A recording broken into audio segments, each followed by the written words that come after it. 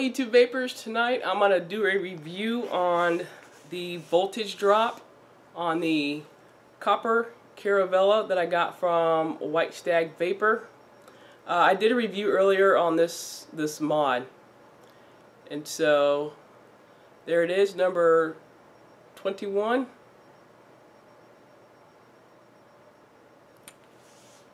and I'm going to utilize my Nimbus clone which is running at and I'll show you the ohms on that. Alright so it's running at 1.5 ohms. It's for the Nimbus clone that I'm going to use to, to test out. Now I already have an 18 650 flat top battery in there.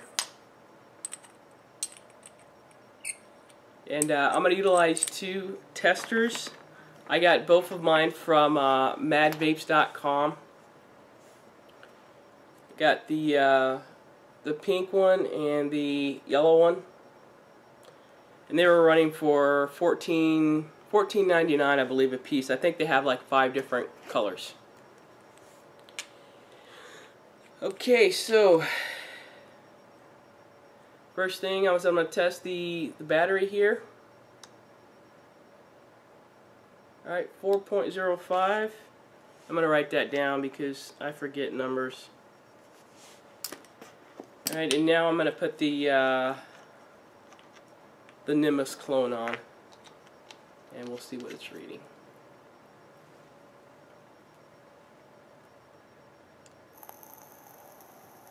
Three point nine seven.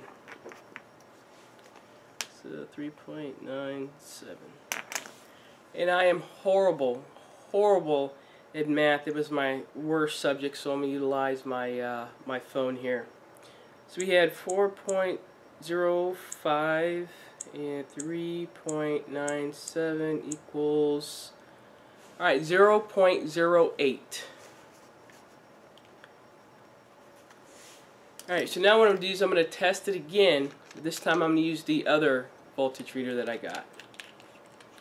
We'll see if we come up with the exact same numbers or something close to it, which we should. Alright, so here goes the battery. 4.06. And now I want to put the, the Nimbus on.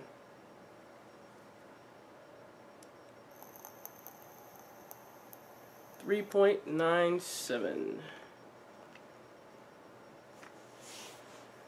Alright, so it's just going to be a hair of difference, which is probably in the testers.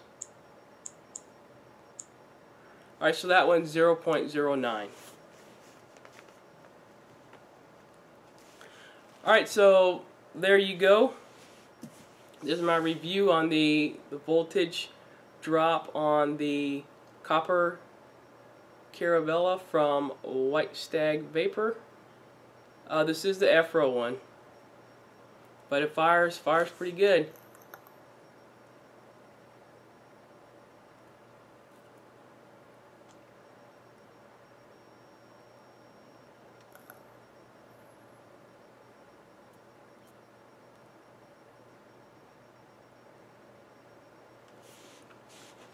So there you go. Thank you very much for watching my video.